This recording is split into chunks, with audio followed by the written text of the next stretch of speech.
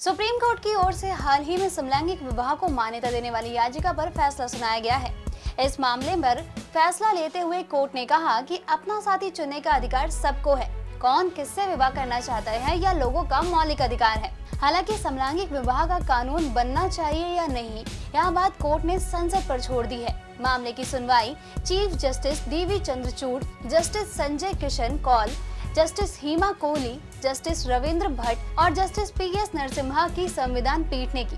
साथ ही कोर्ट ने कहा कि यह संसद को तय करना है कि विशेष विवाह अधिनियम यानी स्पेशल मैरिज एक्ट की व्यवस्था में बदलाव की ज़रूरत है या नहीं।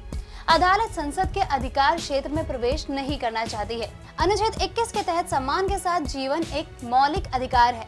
सरकार को नागरिकों के मौलिक अधिकारों की रक्षा करनी चाहिए। स्पेशल मैरिज एक्ट को विभिन्न धर्म और जाति के लोगों को शादी करने देने के लिए बनाया गया है। सेम सेक्स मैरिज के लिए इसे निरस्त कर देना गलत है। अगर किसी कानून के तहत समलैंगिक विवाह को दर्जा दिया गया तो बाकी के कानूनों पर इसका असर पड़ेगा। ये सारे विषय संसद देखेगी। वहीं मुख्य न्यायाधीश टीवी चंद्रचूड़ ने कहा, किसी व्यक्ति को उसके जेंडर के आधार पर शादी करने से रोका नहीं जा सकता। ट्रांसजेंडर व्यक्तिगत कानूनों सहित मौजूदा कानूनों के तहत शादी करने का अधिकार है।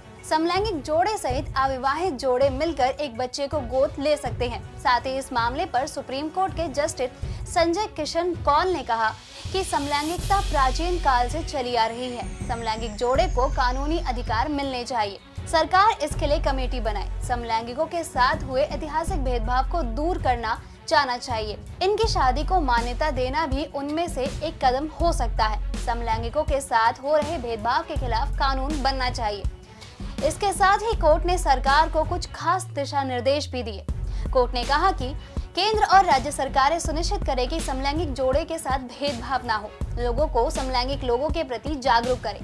समलैंगिक समुदाय के लोगों की सहायता के लिए हेल्पलाइन बनाएँ।